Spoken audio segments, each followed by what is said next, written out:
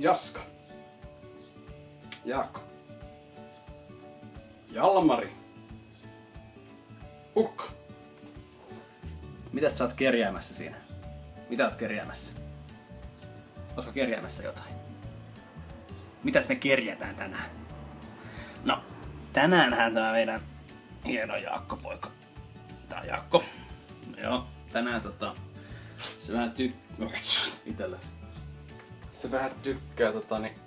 Kato kun ei ollut miinus 70 prosenttia, jos olisi miinus 70 prosenttia, niin työttömät olisi kaikki töissä, kuten Marko Reparssi sanoi. Ei mitään kummusta, varmaan paskaa lihaa, mutta mikäs siinä?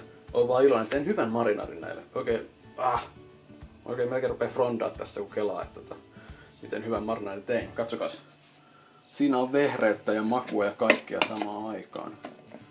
Ja se vähän lisää vielä oliviöljyä. Eli tota, tuoretta timjamia, valkosipulia, sitruunamehua, suolaa. Ehkä voisi vähän pippurehettä vielä sekaan. Sitten mä heitän noin lihat tonne marinoitumaan. Paistelen sitten. Syön hyvin. Laitan vielä vähän maustepuita päälle kun syön. Olen vaan tosi tyytyväinen tähän. Voisin syödä lusikalla pelkästään tätä. Ai ai. Ai ai ai. Joo. Se oli vaan sunnuntain pieni ruokavinkki, en tiedä. Katsellaan ensi viikon loppuna, mitä sitten syödään. Todennäköisesti paskaa.